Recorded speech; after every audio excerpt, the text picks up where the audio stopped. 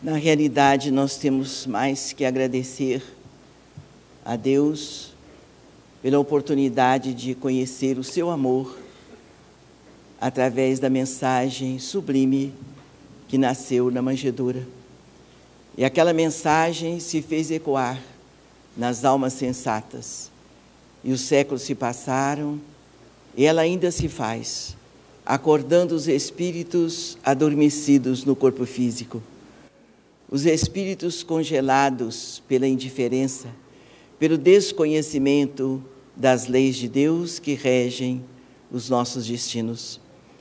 O ano que se findou foi a grande oportunidade que Deus nos concedeu a todos para a realização do bem na terra, para a divulgação dos ensinamentos, quem sabe a muitos nós tiraram das dores, dos leitos, de sofrimentos, de desencanto.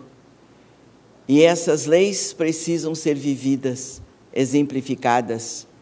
Muitas pessoas precisam de conhecer a mensagem do Cristo e precisa ser, sem dúvida, através da luz da doutrina dos Espíritos, porque os séculos se passaram e a humanidade não entendeu a mensagem de Jesus conservar o Cristo pregado na cruz como se fosse um vencido pelo mundo. Após a doutrina espírita, nas almas, no entendimento dos seres humanos, Jesus ressurgiu, vivo e atuando em favor da humanidade, tanto quanto há dois mil e cinco anos. É importante então que busquemos o Cristo de hoje, o Cristo de agora, que aqui estamos em seu divino nome.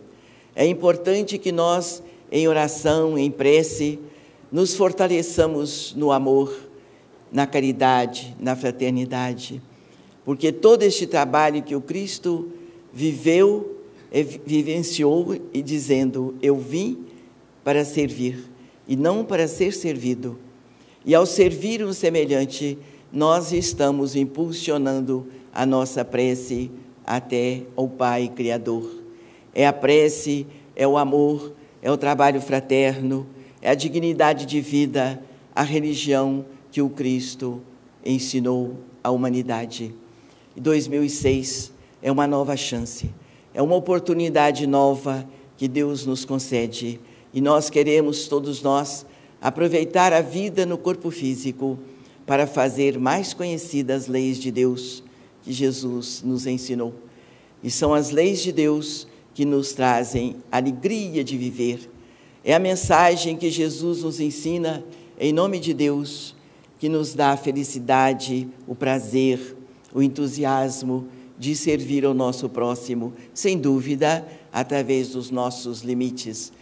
Nós somos bastante limitados, mas como vimos, todos nós podemos servir ao mais necessitado, porque todas as criaturas têm algum talento, têm sempre alguma condição de ajudar.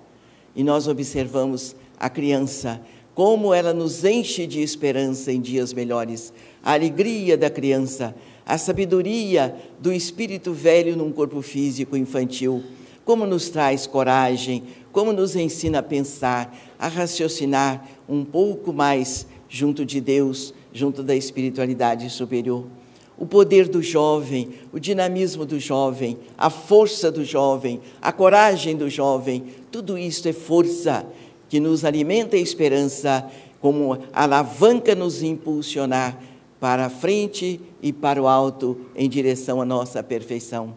E a maioridade? A maioridade nos oferece a alegria da vida, nos oferece a experiência adquirida através dos tempos. A maioridade pode nos dar muitos ensinamentos, nos trazer condições melhores para que não erremos tanto, para que acertemos o caminho da redenção. E nós buscamos então na criatura humana a coragem para viver. É preciso que sejamos um instrumento da vontade de Deus junto aos nossos companheiros de caminhada terrena, quer sejam familiares carnais, consanguíneos, quer sejam os irmãos espirituais, a grande família universal, todos nós precisamos um do outro.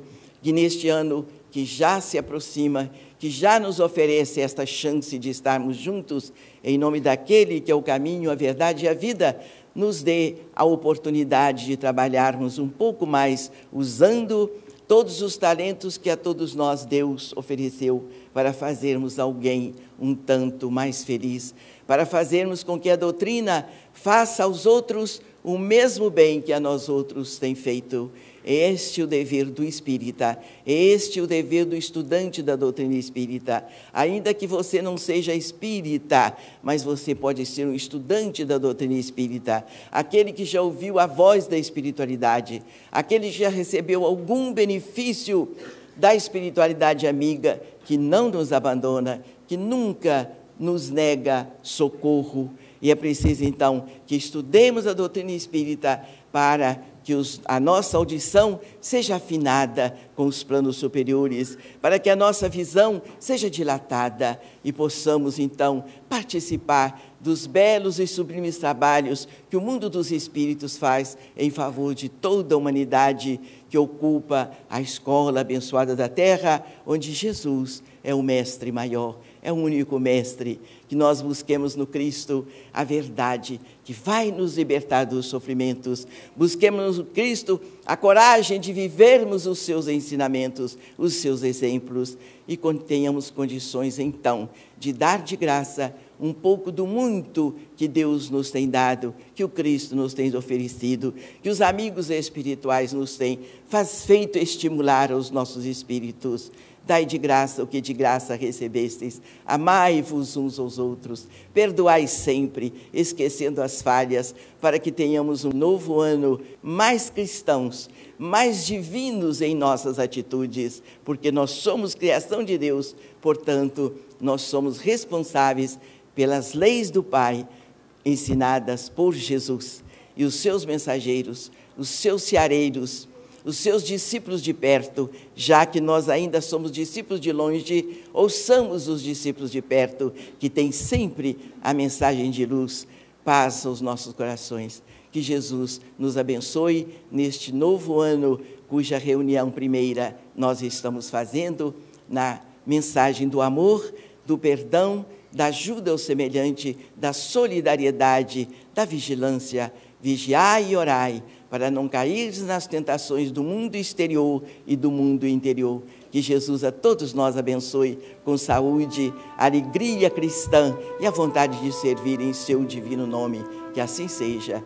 Muita paz. Feliz ano novo.